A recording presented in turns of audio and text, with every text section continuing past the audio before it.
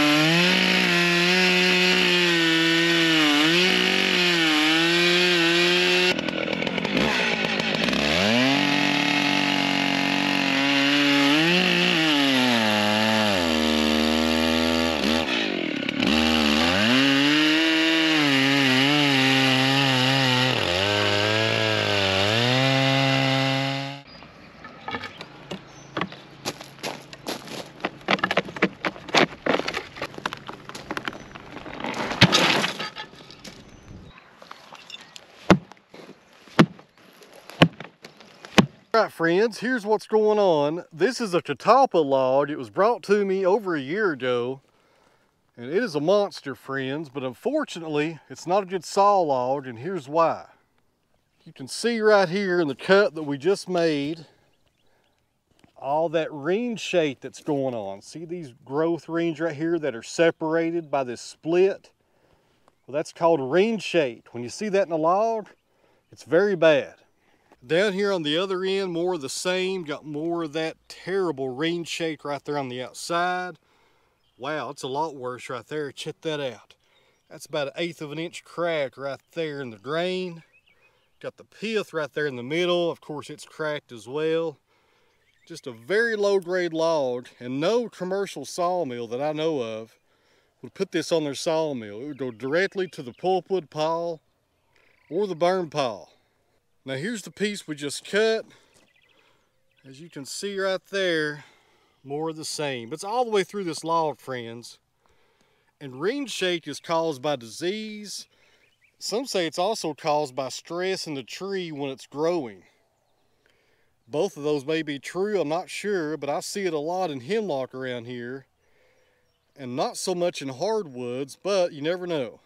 On the Janka scale, I think I'm saying that right, which tests the hardness or the density of a tree, is probably pretty low on something like this. But I thought we might get some decent firewood out of this, but it's all rotted, guys. Check it out. I was doing some test cuts right there with my Council Tool uh, Fowler's Axe right there.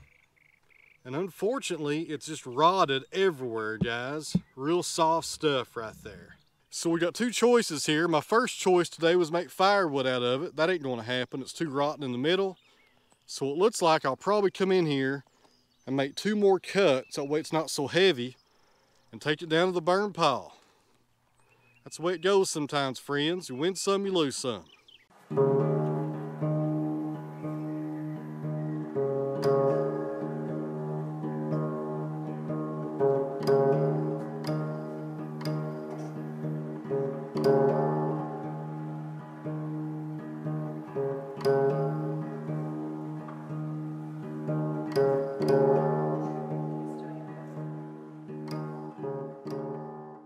Pretty good workout for the 880. I'm not ran this thing in a long time. If you're not familiar with this chainsaw, this is, I think, the biggest chainsaw or the most powerful one that Stihl makes. I got a three foot bar on there. It's pretty powerful. It ripped through that catalpa like nothing. So let's go get the 754. I got the grapple on it and get these things moved out of the way and I'll get my road back. I've been driving around this log for the past year or so. It'd be nice to have it out of my way.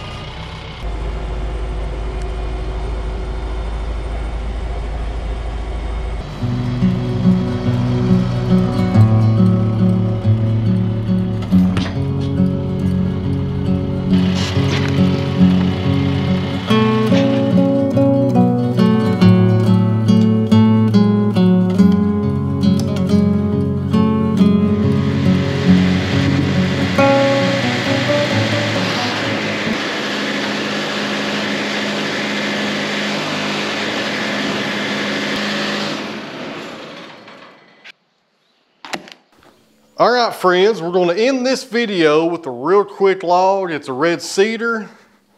I can't remember where this came from. Probably that logging site across town, if I remember right. I think he cut these last year. Cedar's hard to get around here because uh, the bigger ones get voids in the middle, and the smaller ones, the loggers won't fool with it. And just so the comments don't explode, we call it Eastern Red Cedar in this area, ERC. A lot of people call it juniper and all kinds of different things, but that's what we call it here, so that's what we're gonna call it on this video. So this is a smaller log, it's an eight footer. The diameter on the other end is nine inches. On the operator's side, we're looking at 10 inches. So one of the questions I get on these videos by a lot of you sawyers is, how do I size my log for the cant size that I want or a post or whatever? Now this cedar, I'm hoping for a four by four, and therefore I need at least six inches on the diameter on the small end. So here's the method that I go by when I think about sawing a post or a cant.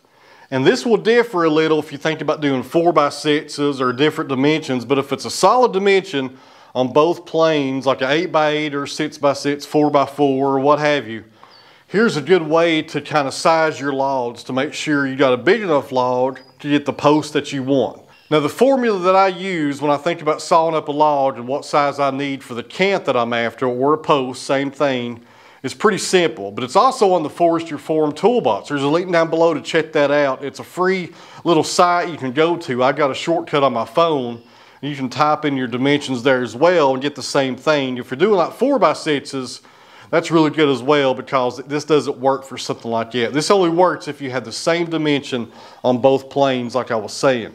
So if I wanted an 8 by 8 out of this, I would take one of those numbers, the number 8, I would divide it by 2 and get 4.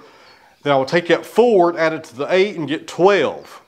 And that's the number I need on my small end for my log, 12 inches. 6 by 6 is the same way. I need a 9 inch log. 4 by 4, I need a 6 inch log. So it's pretty simple. You take one of those numbers, divide it by two, and then add it back on it. And you smack a mosquito when it's trying to bite you when you're trying to explain something on YouTube. But uh, that's, what, that's what you do, guys. It's pretty easy. You know, you just divide it by two and add it right back on, and that's what you need on your small end. Now make sure it's your small end and not the large end because you always want to measure off your small end. On the sawmill this evening, we're running the Joe Maine Silvertip Turbo 7. I get those from Joe down in Georgia. If you want those blades, give him a call. His cell phone number is down the video description. So let's get going, guys, and see how we do. We should easily get a 4x4 out of this cedar. Smells pretty good, too.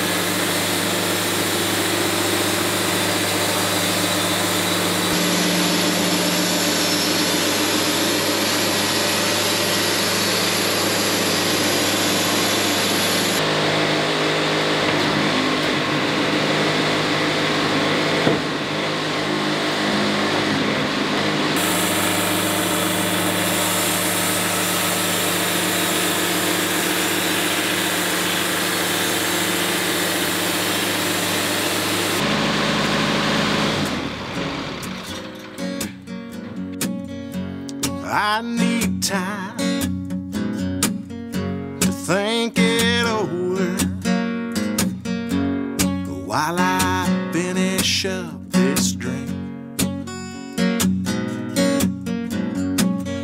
Your proposition makes me